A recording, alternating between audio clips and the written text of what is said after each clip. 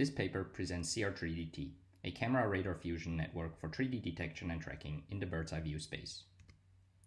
Perceiving and tracking the local surroundings is a pivotal task in the field of autonomous driving. From this focus, two primary research paths have emerged based on sensor setups. On the left, LiDAR-based methods for maximum performance. These models prioritize accuracy and heavily rely on the costly LiDAR sensor. On the right, camera-only methods for cost effectiveness. Replacing the high-performance LiDAR with cameras reduces model performance but also hardware costs. From this, a clear performance gap in 3D detection and tracking is visible. In this work, we aim to bridge the performance gap by leveraging the radar sensor modality.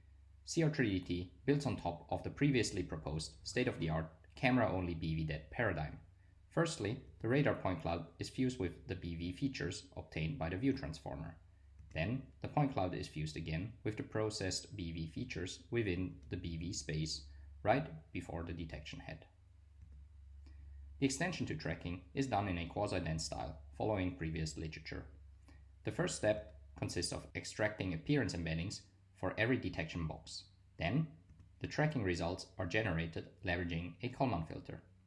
The tracklet association is enhanced through the newly proposed CC3DT++ velocity correlation, which leverages the improved velocity predictions of the radar sensor modality. When comparing CR3DT to the current state-of-the-art camera-only BEVDet model, we observe a detection performance increase of 5.3 MAP points and 7.7 on the NDS score. Lastly, we investigate the tracking benefits of the proposed camera radar fusion and the proposed CC3DT++ tracker.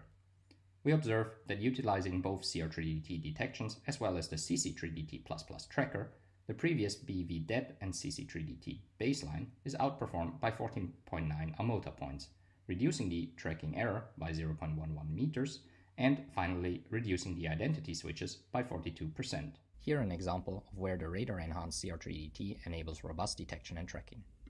When inspecting the detection bounding box of the highlighted car on the camera-only baseline, we observe that the detection seems sufficient. The same holds true for the image space detection of CR3DT.